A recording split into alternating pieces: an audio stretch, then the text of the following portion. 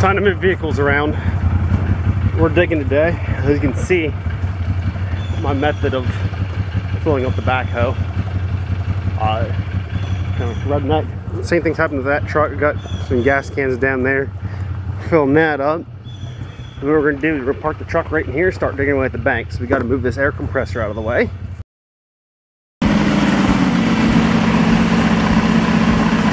That's where Donald shot through my house.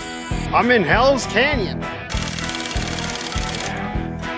And we're getting some railroad ties for Donald. He's gonna use that to build a cattle chute.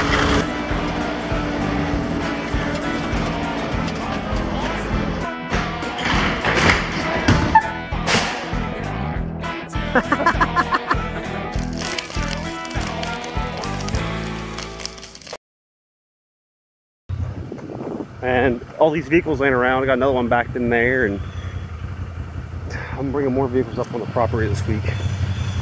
I own too many vehicles, and now I'm buying something else. oh well. All right, dump truck's fired up. They don't run very well, but it starts every time. So now we're gonna put up the driveway, get it in position.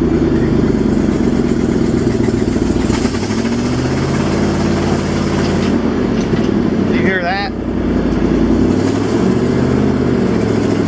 I don't know if it will back in the driveway or not. It might just kick up stone everywhere. I might put this camera down to do this. this thing is a joy to drive. I'm very limited on space because the well is right there. So obviously I got my marker so I can see it. And the house is right here. And until we get some of that cleared out, I can't back around the house. Until my yard's leveled out, I can't drive around with the dump truck that way around the house. So I guess our main goal right now is to get it so I can move the, the dump truck around the house. So. All right, and all those weeds, you can see the backhoes up there. And the issue is that uh, there's a bunch of stumps up there. The wheels keep getting caught. And I can't really keep driving it because it keeps trying to push it down this bank. So I'm on the edge of the bank, so I need to get yanked out somehow. I'm not sure how I'm going to use my trucks and chains to yank me out while I'm driving the machine. Because, I mean, it's pretty particular, I'll be honest with you. At this point, if I mess up, I'm rolling 15,000 pounds of backhoe down that embankment. And uh, not only will I lose a backhoe, I don't know if that's survivable. All right, so I have no help today, so I kind of got to do this on my own. So I got the dump truck up here. That was fun. I think I destroyed a snowblower doing it. Um, it's hard to see, but I got this tow strap here and hooked to the bucket. And I gave it a yank, and it's gonna move this backhoe, but right now, my biggest issue is that the bucket's tearing in, so we need to raise the bucket. And I got one of the outriggers down there, and I might just take a little bit of pressure off it, but still leave it down so it'll catch it. But I think this should be able to pull it up. If not, I'm gonna be out of backhoe and a dump truck. So this has to work.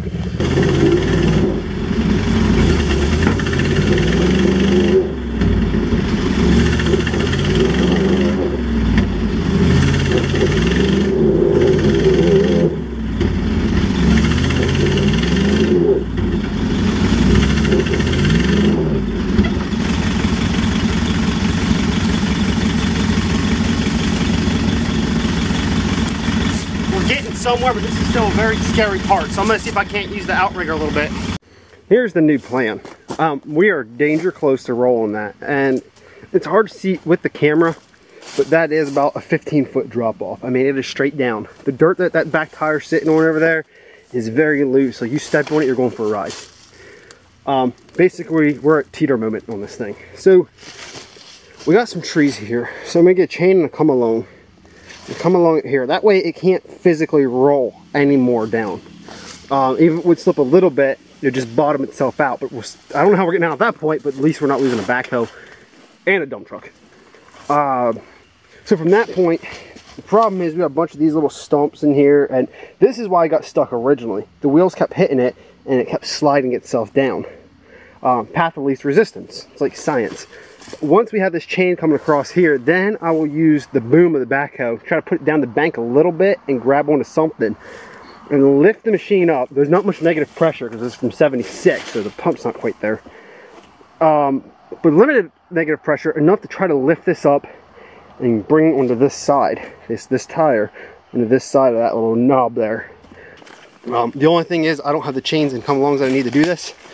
And so what we're doing, and I really hope this nylon strapping is, is, is strong enough. I don't know what it's rated for and I don't know how much pressure is on it.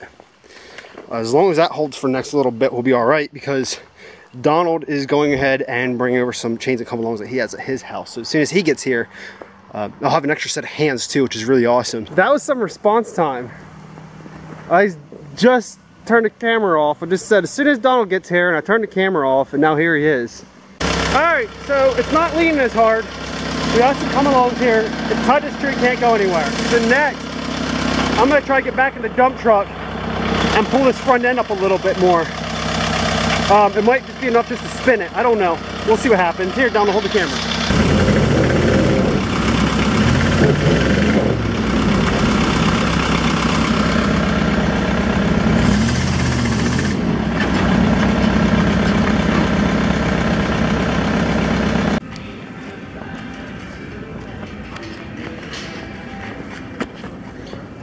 Fails, throw money at it. So we're gonna get some binders, some more come alongs, and some more chains. We're gonna yank this thing back up that hill. I ain't letting it go down.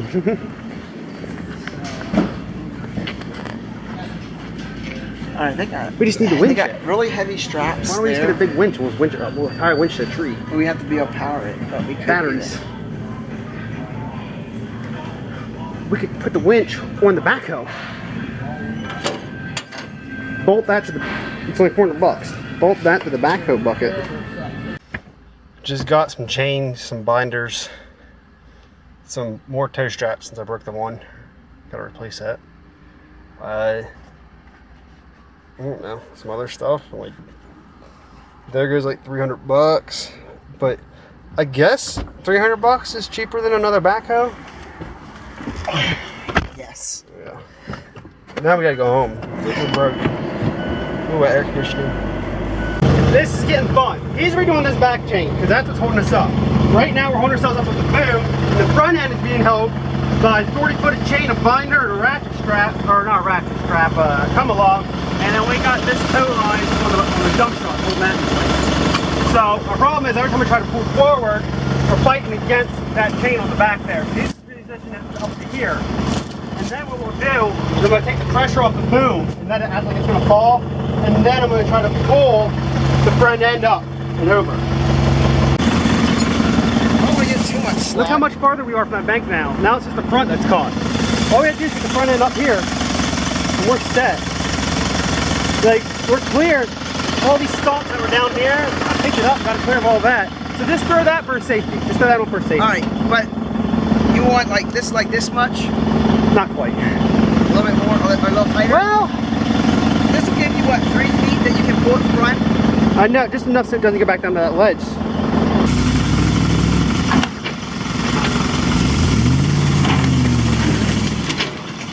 Oh, oh, stop! Stop! Oh no, no, Daniel, careful with them chains.